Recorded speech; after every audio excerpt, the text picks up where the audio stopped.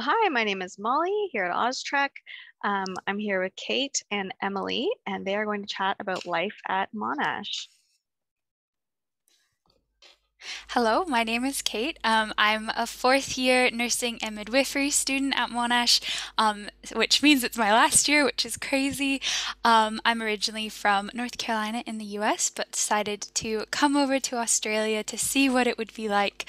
Um, and yeah, it's been really good. Um, definitely one of the most rewarding things um, I've ever done, and just getting to experience a culture for four years, um, I think is really. I don't know, life changing. It's I, I think it's very different than just um, going and visiting and then um, yeah, coming back. So it's been really, really rewarding. So I'm gonna have a bit of a chat about why I think Melbourne's fantastic, why I think you guys should come, um, and then also just like where Monash is and all of that also. Um, but yeah, if that's okay, I might share my screen. I have a bit of a PowerPoint with photos to help me explain the Melbourne situation. Okay, so why is Melbourne the best? You can see that I obviously have a bit of bias towards this, um, but yes, it's the best, and I'll be explaining why. Um, this first photo here is Flinders Street Station, which is the big train station in the city. It's very grand when you walk up to it, um, but it is um, part of the beautiful public transport system, which, if you come to Melbourne, you'll get to know very well. Oh, okay. So I just thought I would include some photos of what Melbourne looks like. Um, so you can see on the left hand side, this is from one of our beautiful parks. We have many parks. The Australians are very good at making parks within cities, so there's parks everywhere. But this is the Royal Botanical Gardens, which is just next to the Arts Centre, which is like off on the side in this photo. And then you can see sort of the CBD in the background. Um, and then on the right side, this is my favorite place probably in all of Melbourne. This is the State um, Library, and I really feel like it looks like it could be in Beauty and the Beast or something. It's absolutely fantastic, and you can go in there and study, and you just feel like, I don't know, I feel like knowledge goes into your brain easier when you're studying in environments like this. So it's definitely a pro. Have you ever been to the state uh, library, Emily? I haven't, which I probably shouldn't admit, but I haven't yet. I drive past it all the time now, and I'm like, I need to go see it. I feel like it's always the things you drive past that you never actually see. Well, but yes, especially like when we're not really allowed in anywhere. But now is when I'm like, because I moved, and then now that I drive past it, I'm like, that looks so beautiful. So yeah, yeah. Okay, as soon as as soon as the library's open, we'll go. Yeah, definitely. um, and just some more some more photos. I don't know if my Zoom is in the way. Um, so on the left side, we have the Shrine of Remembrance, which gives you like a really good picture down into Melbourne. So that's sort of um, a walkway that and turns into a street that goes straight into the CBD. Um, and then this is the Yarra River on the right, which is yeah, just flows through the city, and I think it adds you know, a bit of a bit of a water moment um, in the city. Um, I don't have much to say about it because it's just nice to look at. But yeah, you know, a bit of um, Melbourne propaganda. Um, I think the biggest draw for me for Melbourne is that it is the coffee capital of the world, um, and I'm going to say that without, you know, I I, I don't mean any disrespect to other places that call themselves the coffee capital, but the quality of coffee in Melbourne is definitely unparalleled. Um, you will not come to Melbourne and leave not a coffee. Like you will leave a coffee snob if you come. Um, there's cafes everywhere. M- Melburnians love their coffee. They're well known within Australia for loving their coffee. So I don't know. That puts it into perspective that this is, yeah, it's just an essential part of the culture. And that also translates to food. Um, Melbourne's super multicultural, so you're going to get a really great selection of food from everywhere in the world, which is amazing. And there's also a really big um, brunch draw. So lots of people go out to brunch on the weekend. It's a really big thing. Um, so that's really nice because there's always really cool cafes to try, and then you get your coffee again. Um, and there's lots of markets um, in the city where you can go to like food festivals and things like that. Um, like on the bottom right, you can't really see it. You can just see the city in the back, like the buildings in the background. But this is Queen Vic Market, and every uh, weekend they're open and they have food there. But then they also have like um, nights where they're open for a more specific food market. Um, and yeah, the food is just good. I can't hype it up enough. Um, not only that, but Melbourne also has a lot of things that go on throughout the year. So I just picked two things. Um, so White Night is a huge night in um, Melbourne where the whole city lights up and they flash these like color presentation things um, on all the buildings in the city. And as you can see, it draws a lot of people. So you just sort of go on a tour of the city to see like what things they're lighting up. Um, and so, yeah, I think that's a really exciting thing. And usually it happens at the beginning of the year, so just at the end of summer, so it's still warm outside, really nice. And then we also have the International Comedy Festival, too. Um, I personally haven't been to the comedy festival, but it's definitely on my list to try. It happens in Town Hall, and there's like just a slew of comedians who come through um, to participate in it. Um, and I just think that's it's exciting to be in a city that has so much going on. Um, not only that, a lot of uh, singers when they're touring, they'll singers and bands they'll come to Melbourne um, to perform, which is great. So it's nice to be so close to so many things happening. Um, and I think that um, coming to Melbourne or coming to Monash really lets you um, experience a lot of, I don't know, things that you might not get to if you're at other places. And here I have photos of the NGV. You have to mention um, the National Gallery of Victoria. It is the art museum and it has there's a, few different museums in melbourne um, but i think this one's definitely the biggest um, and you can see some of the exhibitions they put on they always have this really big piece of artwork as soon as you walk in the um, the museum, um, which is really cool. So for the last little bit, it's been this moving artwork piece, um, which is very mesmerizing, honestly, when you go and you just stare at it for like 10 minutes because it looks completely different each minute. Um, but yeah, there's lots of really cool um, different art pieces, and there's another museum attached to the NGV, which is National Gallery of Victoria, um, which has specifically um, Indigenous art, which is really exciting um, to see also because that's uh, something that's you know really unique to Australia.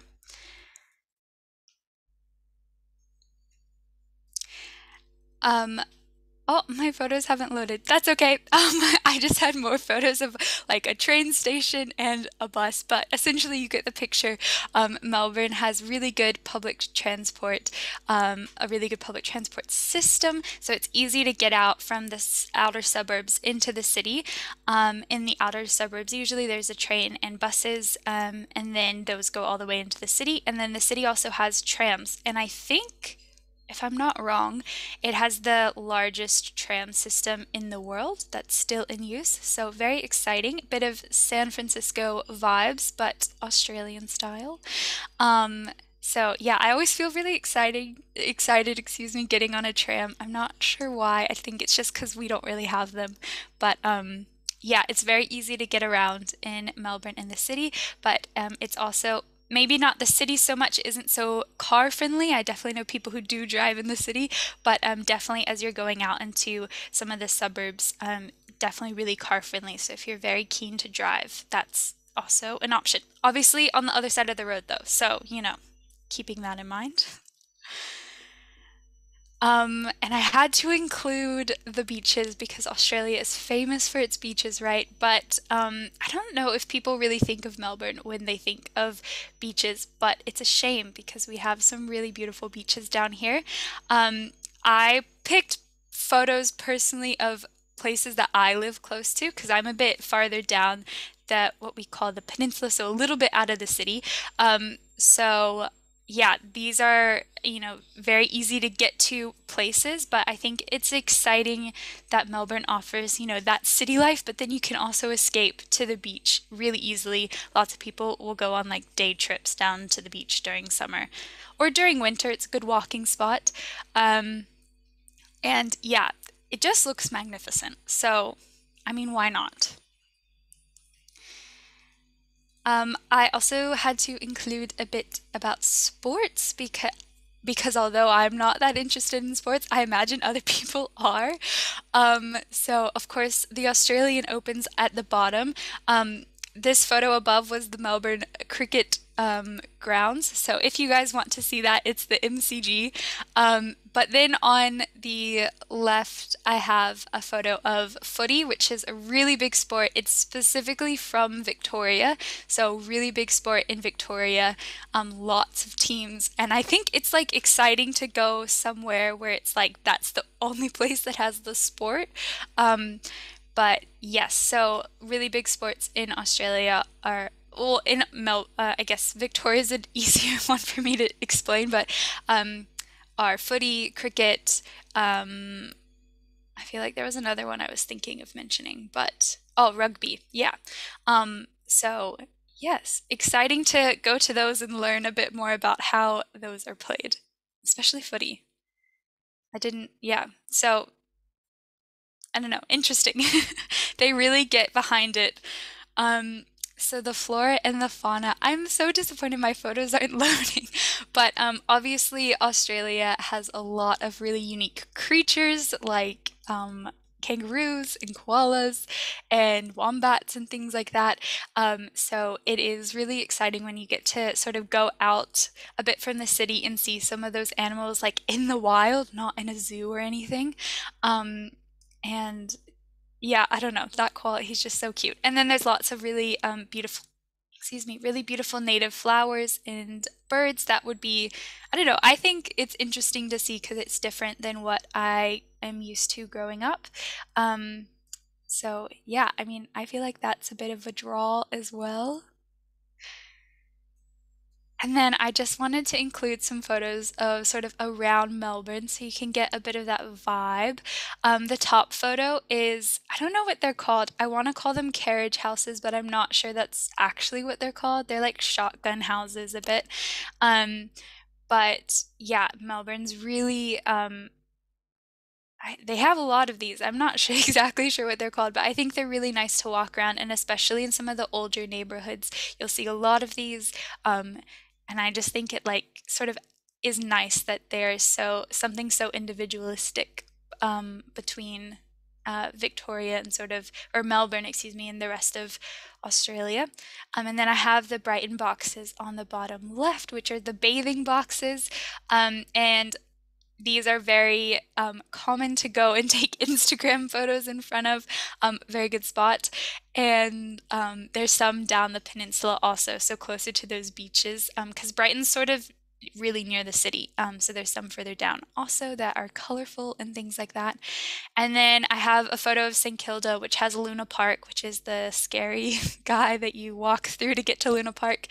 Um, and yeah, St. Kilda is a really gorgeous area. Um, it also has the penguins, which is crazy. So, um, there's penguins like in the city and they just like live on this pier. Um, absolutely wild. Um, but yeah, really cool to go and see. It's a fun thing to take people to. I've taken my parents there and they're like, oh, wow. I'm not 100% sure how important shopping is to you, but I think it's good to know, you know, there are like lots of convenient stores to get to. I've put a photo of um, Chadstone, which is actually the largest shopping mall in the southern hemisphere. So there's lots of options there um, and does have lots of brands that you would be familiar with from the US. They even have a Krispy Kreme donuts, which is so cool. I don't think I've ever seen a Krispy Kreme Oh no, there is a shop in the city actually. Now that I'm saying that, um, but yeah, so really easy place to get a lot of the things you might be used to from home, um, and uh, you know other shops are really easy like the grocery store, things like that. Everything's pretty similar. They just have different names. Um, but yeah, I think it still sort of has that same convenient aspect of what home feels like, but you know, you're in another country. Exciting. And this photo is some of the hiking spots around Victoria. So um, I think we're really fortunate in Victoria. We have, you know, definitely some arid places, but then we have some really green place, really green tropical places. So the bottom right is a hiking spot. I think it's near the Great Ocean Road, um, which is really beautiful. Um, definitely should look up the Great Ocean Road if you uh, don't know what that looks like yet. Um, and then the other photos we have are of Wilson's Prom, which is a um, yeah a really cool hiking national park, um, and people go down there for you know summer during like for a week or so, and they go camping and hiking around. Um, so yeah, a really nice area, and I mean those beaches, so beautiful. Oh, that might be my last one. but uh, yeah, I think, you know, in summary, there's lots of things to do. You can go surfing, there's, you know, lots of surfers, um, lots of things to do to keep you entertained in the city and things like that. Um, but yeah, essentially, it's one a wonderful place to be. Um, Monash is really fortunate to have quite a few different campuses. So you have some that are closer to spots like the top uh, photo here is closer to the beach, so the, that's the campus I'm at. Um, but there's some that are, you know, in the city, really close to everything that's happening. And then we have our really big uh, campus too that feels a lot more like what you would expect um, in the uh, US or Canada, where it's just like a big university, lots of um, people and everything like that. So you sort of get the best of every world, I guess. You can sort of pick what um, environment you'd like. Um, some courses are dependent on which which campuses you'd be at. Um, but in general, um, yeah, it's really cool to sort of have lots of different options on locations and things like that. Um, but yes, I think that was everything I wanted to chat through with um, the PowerPoint. Emily, did you have anything that you wanted to mention with that? No, but this looks absolutely beautiful. Now I want to go. I want to go hiking. It's only what 9 a.m. here. like, go do something. I know. I'm like literally counting down the days. I'll have placement for the next little bit, but I'm counting down the days until I'm done with it so I can go hiking. I'm so keen. Yeah, it looks awesome. Thank you so much. Yeah, that was great. I'm definitely like feeling the travel bug now looking at all of this. Please okay, come. thank It's you. good. yeah. Thank you so much for joining us. And that was an awesome presentation. Um, we really appreciate it. So for anyone still here, um, head back to the Career Echo Fair. Um, and again, thank you, Kate. Thank you, Emily. Thank you. Thank you, Kate. Bye. Bye, everyone.